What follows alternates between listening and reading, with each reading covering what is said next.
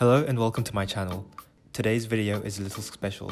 First off, thank you to 1000 views on Whirl's review. Thanks for all your support and to those who purchased him on Cults 3D. While I'm looking back at Whirl as a project, going through the assembling process, I'm also going to talk about, in my opinion, if you should use resin printers to print your own Transformer toys. I'm going to talk over the footage of me assembling my second Whirl and will have the parts I'm holding in my hand shown on the corner of the frame. Whenever an interesting process comes up in the video, I'll talk about it. I decided to print my Whirl at the smaller 90% scale because when I designed Whirl back in July, I had a bunch of M2 screws left over from back when I used to scratch build my own transformers with styrene sheets over one summer break two years ago. So I designed the pinholes to have the diameter of 2 millimeters. But when I got back to the UK, I wanted to move on to using nails as pins. Because nails don't have threads on them like screws do, meaning it wouldn't rough up the resin walls when inserting or simply when moving the joint. From my experience, this causes the walls and the overall piece to be more brittle and will become looser and looser over time. You can of course tighten it if it was a screw, but again you risk causing the piece to snap. Since I've switched to nails, I've not had that problem at all, and the diameter of my nails at the moment are 1.8mm, hence why I've shrunk it from 2mm to 1.8mm at a 90% scale. If you're keeping up with the video on screen, you'll see that I've already assembled the head and the cockpit area of Whirl, You'll also see the tools I deem necessary when assembling a resin transformer.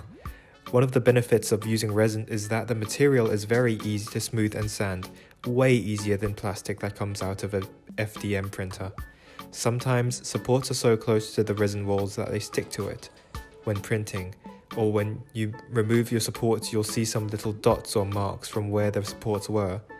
With resin this is so easy to sand away for a smoother piece. A metal file would go a long way and does wonders in doing that. Of course sandpaper works as well. Remember to do this in a well ventilated area as apparently the powder coming from the resin is harmful. So are the fumes that emit from the resin. You'll need a hobby knife to help clean up the pegs before attaching them to one another for a sturdy and firm connection. The last thing you'll need when assembling is a pair of pliers. This gives you a good grip of the pin when inserting I recommend inserting at a rotating motion, slowly drilling it in while gently applying some force to the tool in your hand. Slowly, the nail should come out of the other side and you'll have a hinge done. An indication that the nail is actually going through is on the other end of the hole. Some resin tends to come out, and that means that your nail is pushing and clearing the path, making its way to the other side.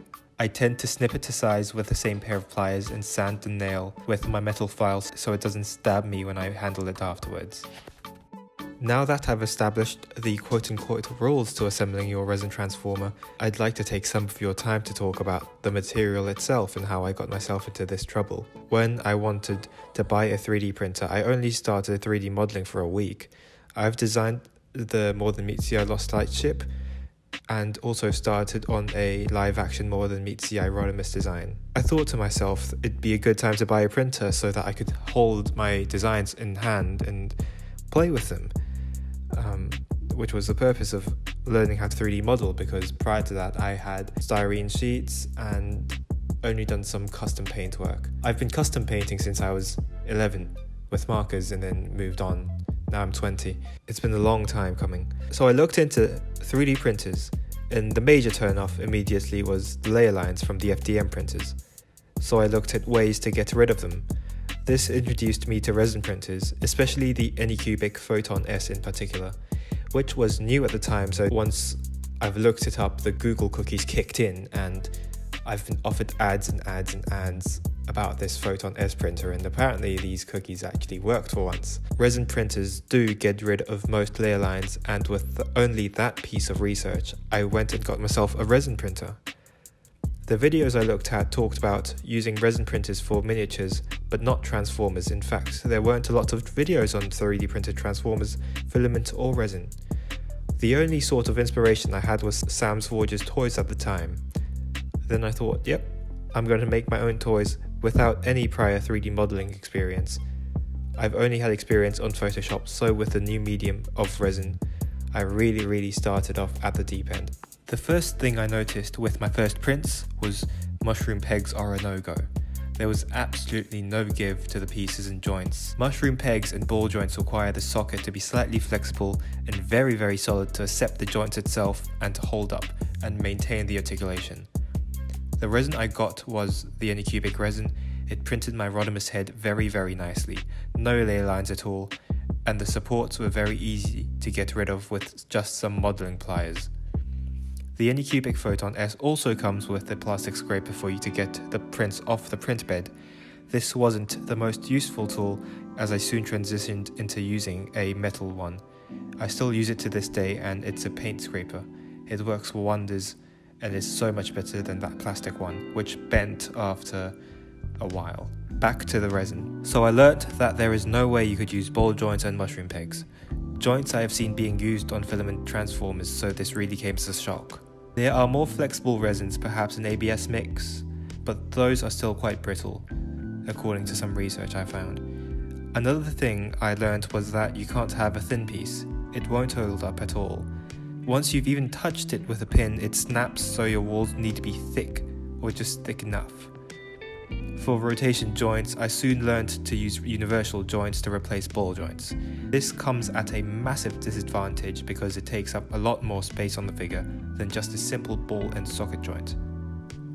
So the only advantage resin has over filament when it comes to building a transforming articulated transformer is that there are no layer lines. That, to this day, is the only thing I could think of as an advantage over the FDM printers. And in hindsight, I should have bought an FDM printer in the first place, and I really still want one, to build more intricate transformations in pieces. But I learnt to design transformers for the resin printer I have, and have learnt to love the material and the products it produced. I still do warn against it though. And with this out of the way, let's take a look at Whirl, fully assembled. So at the time of this recording, it's been two weeks since I've printed Whirl, and I left him to cure, let, let his pieces be more solid before I did this short, short review, um, just to look at how the joints hold up, how everything holds up as well, and see if what I said previously corresponds to what I said now. So the joints still hold up very, very nicely. They do hold a pose, and like I mentioned before, this is how you attach a rotation joint. Is It's very similar to the weaponizers now in the Siege line or the fossilizers in the Kingdom line. This is how you sort of attach them um, by pegs, not ball joints and not mushroom pegs, which are what I actually prefer in toys. Looking back at it, I really wish I added elbow swivels and ankle rockers. That would improve the figure so much. This is what I did instead of a ball joint when it comes to Whirl's head. So I put a hinge inside Whirl's neck so he can look up and down and a rotation joint at the bottom of his neck so he can look left and right. So all of this could be replaced with one single ball and socket joint. With that, I actually lose a bit of head tilt as well, which I actually want in Whirl because he's such an expressive character. This is my most recent project, um, Little Cub Cheetor um, my first go into organic sculpting, and I think it's going pretty well so far. This is what I'm talking about when I talk about universal joints. Look at his shoulders. There are actually four pieces that make up one arm. So it's just a multitude of joints. Um, there's a multitude of hinges and pegs to add up to that. And you could see that it is kind of bulky, and all of this could be avoided by one single ball joint. But I still do really like him, and he's really cute, and I can't wait to finish him what I find resin is best for is these G1 designs. That is why lately I've been doing so many of them, is because they don't require ball joints. They only need, they only need hinges and tabs, and that is where I think the material really really strives. And I really enjoy doing these G1 toys. They're really colourful when I paint them. Um, please rem- remember to prime your pieces before or the paint is not likely to stick as well to stick as well. And another thing that this material strives for and works really well for as well are these conversion kits.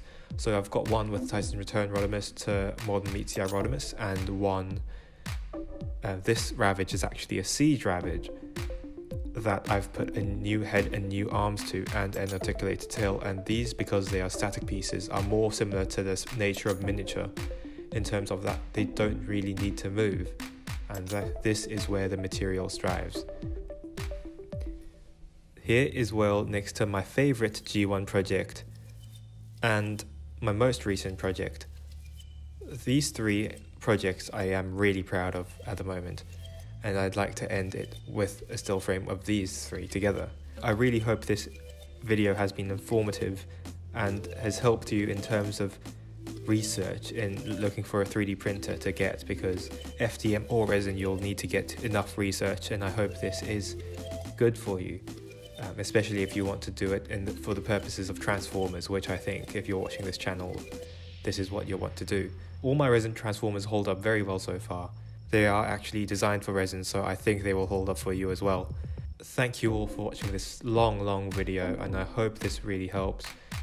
I really appreciate you. Please like, comment, and subscribe. It really helped me out. And have a good day, stay safe, and goodbye.